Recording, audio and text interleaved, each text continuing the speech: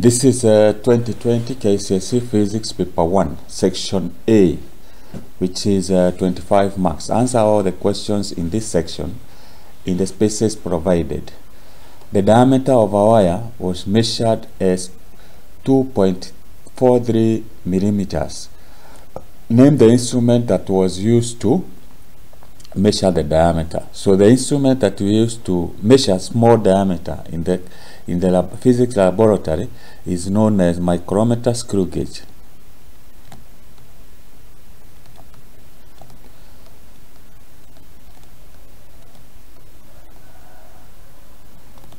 Micrometer screw gauge and uh, it looks like this.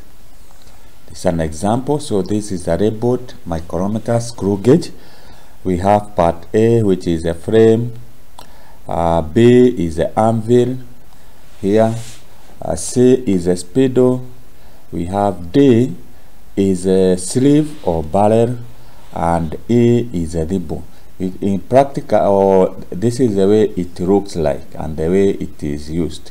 They may be uh, they may look different uh, because of the different manufacturers but this is how the micrometer screw gauge look like. And that's how you answer that question. You get one mark